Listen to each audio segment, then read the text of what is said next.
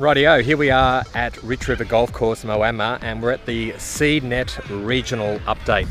And we've got a few of the uh, seed growers out and about with their iPhones or their Android phones, and they're using Street View to create some 360 panoramas.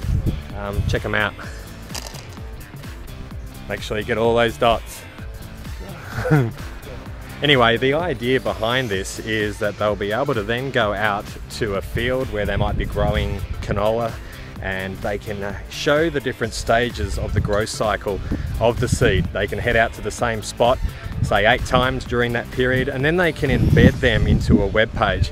Imagine then if you could then just read an email, it's a newsletter, you click on the newsletter, it goes to that web page, and then it dolls in deeper. But let's go a little bit further let's whack a VR headset, virtual reality headset, on one of the potential buyers or someone you're training to then go in and discover a lot more.